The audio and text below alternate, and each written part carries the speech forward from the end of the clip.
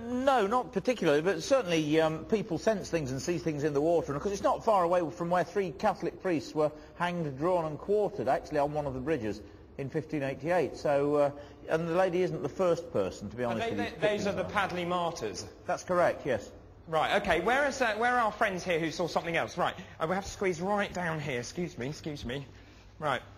Okay, uh, what's your name? Ange. And Vicky. what did you two see? Um, on the webcams, on webcam one, there was an arm that came down and came back up again. Right at the beginning it was. And you both saw this? Did anyone else? You saw that? Yeah. You saw that? Yeah. Anyone else see that? Put your hands up if you saw that.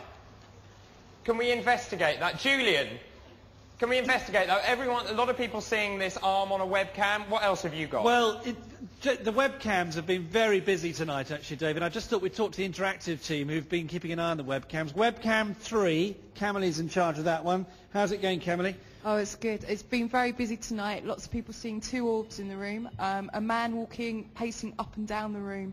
And they've all been seen in the doorway, particularly when the crew were in there earlier. Right, and then on webcam, the next one here, this is Dan. Hi, Dan. Which one are you in charge of? Uh, webcam 4. Right, what's been happening? There's, uh, there's been a lot of screaming, uh, a woman screaming, plenty of uh, reports from that, and we've had a dysfunctional couple going at it quite regularly. Yeah. Really? Michaela, which webcam are you in charge of? I don't know what to say to that. Um, thank you, Dan. Michaela, which one have you been uh, in charge of? Um, I've been on webcam one, the large room. We've had lots of orbs and mists, just like on Camille's webcam. Sightings of a man's face above the fireplace, a dark figure, and lots and lots of heavy footsteps. Really? Now, the bayonet, we're running this competition for the bayonet. Uh, we showed it to you earlier. It's just over here, actually. Let's have a quick look at it again. Um, have a look. Here it is. This is from one of the locations tonight. And the question is, can you think what that location might be? You've been uh, texting us and calling us. And here's some of the um, messages we've had. The majority of people who responded are sensing a lot of pain and anger connected to the bayonet and think it was used in violent circumstances. So far, we've got three main trends on this coming in. Uh, people who think the bayonet was found, maybe it was uh, used in a, a, a nasty situation. Denise Evans has said a suggestion that ties all these kind of things together. Her son believes the bayonet was used by a soldier who killed someone in a fight and that the body was found in the river and maybe near the dolphin. Now, Jane here has got some hot news on the bayonet just come in. Yes, we just heard from John in Hitchin, who's given us a full name connected with the bayonet, and that's Charles Winston. And Lindsay in Manchester tells, it, uh, tells us we ha- it has some connection with a child. Right. And on the competition, by the way, 12,000 entries to come and see the show on Monday night, which is quite amazing. So that's the latest news from Interactive, David. Thank you very much indeed, Julian. Well, we're now moving to our next location. This is the oldest pub in Derby. It's called the Old uh, Dolphin Inn. And this is not only a pub, but it had a doctor's annex uh, added to it. And people were dissected there.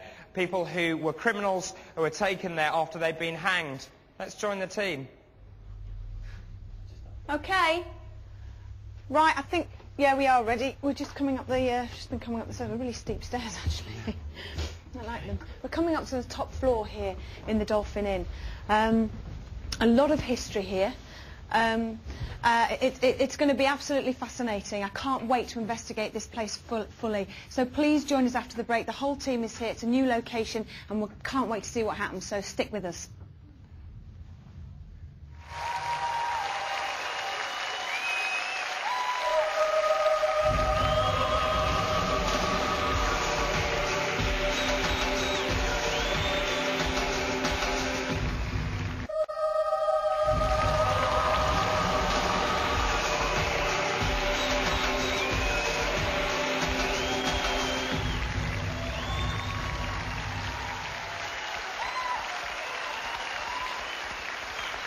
Well, welcome back to Most Haunted Live. Now, regular viewers will know that we never really know what's going to happen. There is no kind of script to this, and we never know when we investigate the various locations exactly what events will take place. Now, before the break, if you remember, we sent Helen, one of our audience who was picked by random, to go and investigate the silk mill with the rest of the team. Well, I'm pleased to say that Helen is back, but you're not in great spirits, are you? What happened?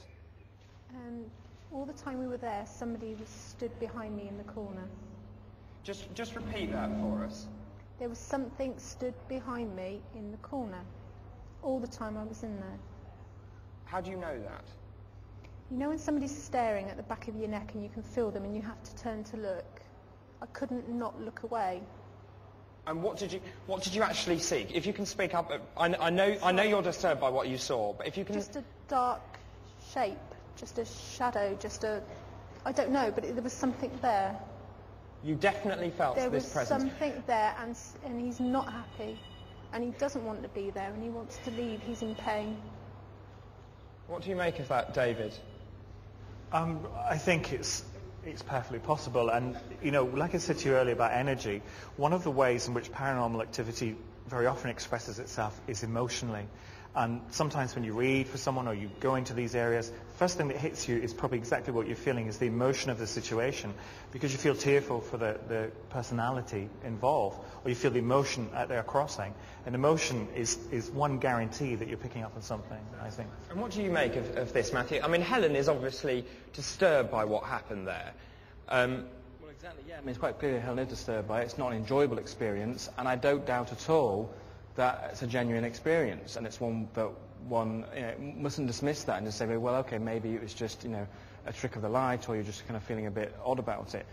Um, and it's difficult to find an explanation for it. It doesn't necessarily mean that it is paranormal, you know, what, what David suggested and, and what the usual context of these experiences is. Okay, maybe it was a spirit. are you accepting this could be paranormal? Uh, that's one possible explanation, yes. Um, I do find it very interesting. I find you know it's worth exploring that location So you can't rule out the fact that it might be paranormal? Of course you can't rule Well, out. let's no. ask Helen. You're convinced this is paranormal? I'm convinced there was something there. You tell me. And has this ever happened to you before? Um, I saw my dad, and we've had various things happen in the house, but Oh, well, I, I can only say thank you so much for being brave enough to take part. Um, I tell you what, um, what I'd like to do, Donna, our floor manager, will take you away and look after you. And uh, we also have St John's Ambulance here, so they'll make sure you have a nice cup of tea. Ladies and gentlemen, please give Helen a big round of applause.